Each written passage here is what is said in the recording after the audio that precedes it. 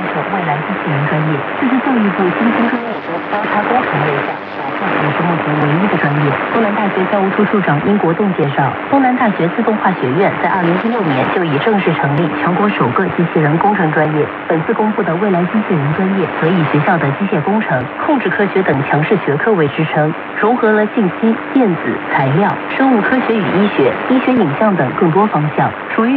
新兴交叉学科专业。丁国栋。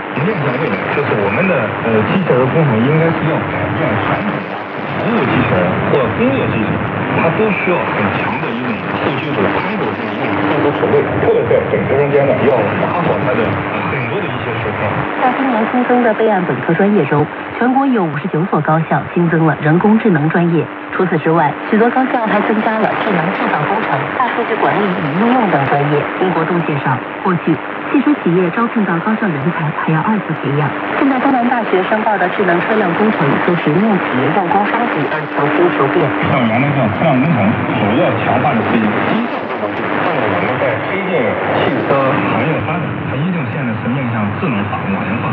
智能化的人不懂车，车辆工人他不懂得感测、评测，这样呢，相当于到企业以后，他去做二次培养，成本增加，而且它的流车量就非常高，增加这种新工科呢，呃，现在无论是我们的现在新能源汽车和电动汽车的发展，以及我们自动驾驶的发展，我们农。